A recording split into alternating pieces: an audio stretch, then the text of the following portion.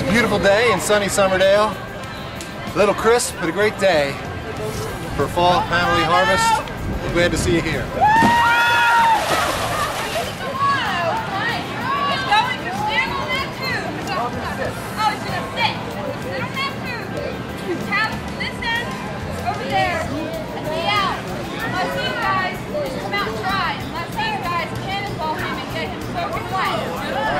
Fall Harvest 2010, Polar Yeah. Bear Plunge. Are we ready? Yeah! Can we do it? Yeah! We can! Yeah! We will! Yeah! Freeze our butts off. Let's do it, boys.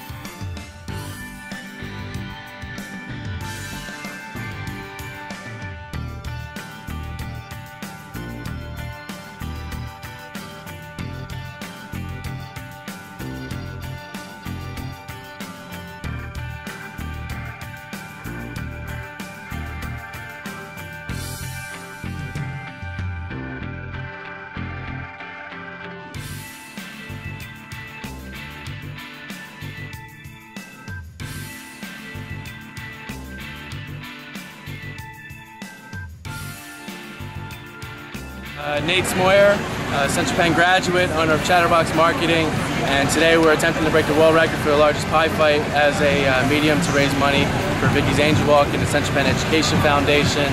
Looks like we have a couple hundred people out here. I'm not sure where we stand on the numbers, but regardless, we have 1,200 custard pies.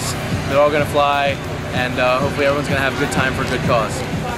If this guy gets pummeled. Believe me. So, like, make sure you get him with the pie today, okay? Now, don't run your way and fall with yourself. Be careful. Four, three, two, one.